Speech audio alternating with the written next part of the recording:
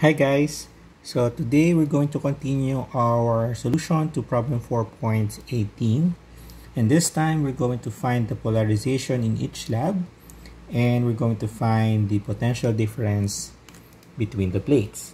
Okay, so let's recall first. If we're going to recall that the the two slabs, slab 1 and slab 2, sorry, this should be slab 2 we have dielectric constants 2 and 1.5 okay? So for slab 1 the dielectric constant epsilon r1 is equal to 2 whereas in slab 2 the dielectric constant is 1.5 or 3 halves.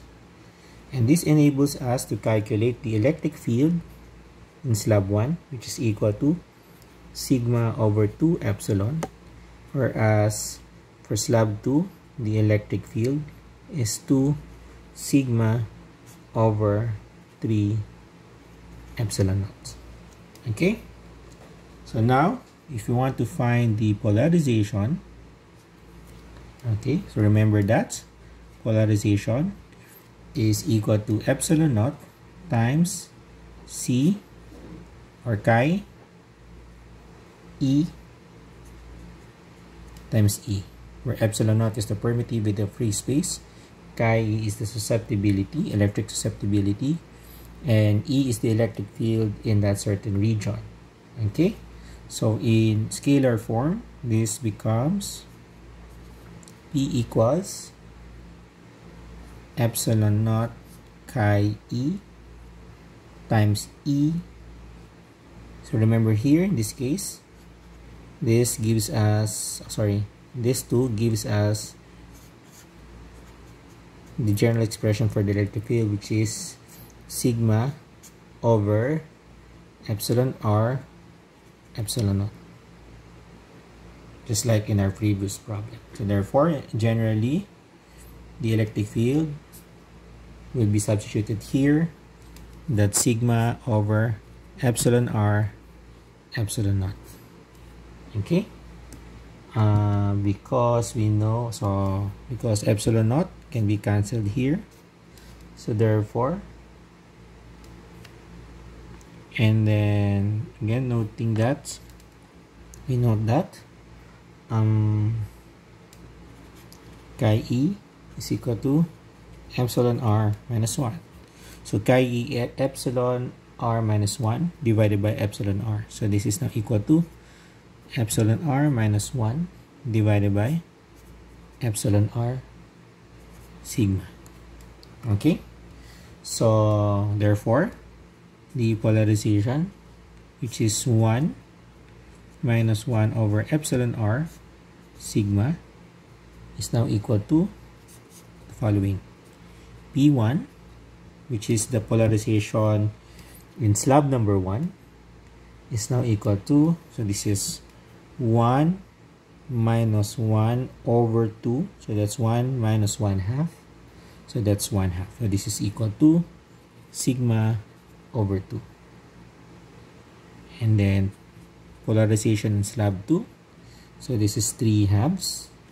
So this is 1 minus 1 over 3 halves or 1 minus 2 thirds.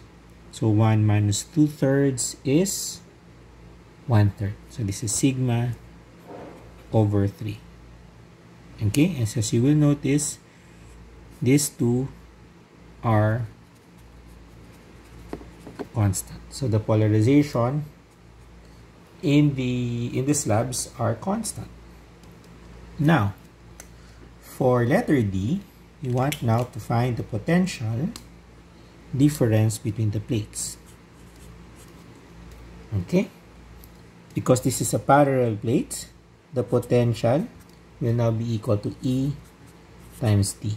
But because we have two regions of different electric fields, so that means the potential difference between the plates will now be equal to the potential from plate 1 from this plate to here and then the potential difference between this this part to the other plate So this is E1 D1 plus E2 D2. Because D1 and D2 are the same and that is equal to A. So this is equal to A. We know E1 will now be sigma over 2 epsilon naught times A plus 2 sigma over 3 epsilon times A. Okay, and this is now in the potential difference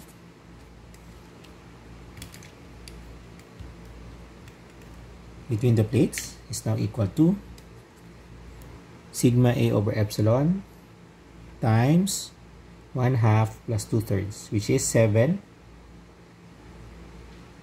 over 6. Very good. So this is 7 over 6. Then sigma A on top. And then epsilon naught at the bottom.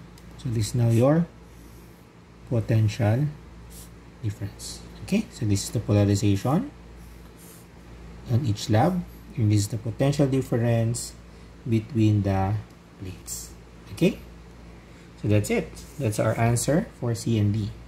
In the next video, we will answer the the, the remaining uh, prob the remaining numbers or the, the, the remaining letters wherein we are tasked to find the location and amount of all bound charge and we're going to recalculate the field in each slab to confirm our answer for letter B.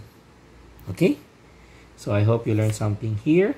And then I'll see you guys in the next video. Thank you for watching. Bye-bye.